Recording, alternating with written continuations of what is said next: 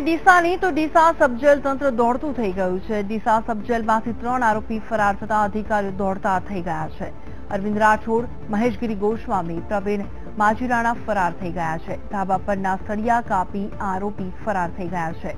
આરોપી ફરાર થતા શહેરમાં નાકાબંધી પણ કરવામાં આવી છે.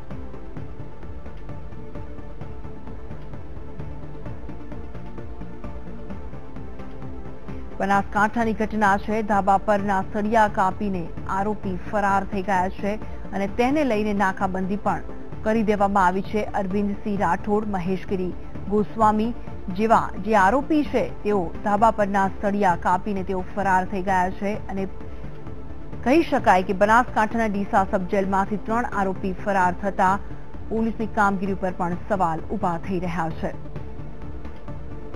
અરવિંદસિંહ રાઠોડ મહેશગીરી ગોસ્વામી, પ્રવીણ માજીરાણા ફરાર છે. તેને શોધવા માટે તજવીજ હાથ ધરવામાં આવી છે. ડીસા સબજેલ તંત્ર દોડતું થઈ ગયું છે. આરોપી ફરાર થઈ ગયા છે તેને લઈને અને નાકાબંધી પણ કરી દેવામાં આવી છે.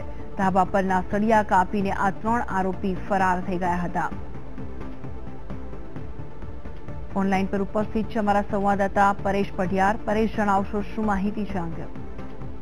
જી ભૂમિ ડીસા તાલુકાનો બનાવ છે. ડીસા તાલુકાના કાચા ગામના ત્રણ કેદીઓ આજે ડીસા સબ જેલમાંથી જેલ તોડીને ફરાર થઈ ગયા હતા. રાતનો બનાવ છે. રાત્રે અડધી રાત્રે ફરાર થયેલા કેદીઓ જો કે સવારે પોલીસને ખબર પડતા જ પોલીસે આરોપીને શોધવા માટે દોડધામ મચી ગઈ હતી. હાલ એસપી, ડીવાયએસપી જેવા ઉચ્ચ અધિકારી હાલ અહીંયા સબ જેલમાં તપાસ માટે આવ્યા છે અને હાલ તપાસ કરી રહ્યા છે. આરોપીને શોધવાની હાલ તપાસ ચાલુ છે. આભાર, પરેશ.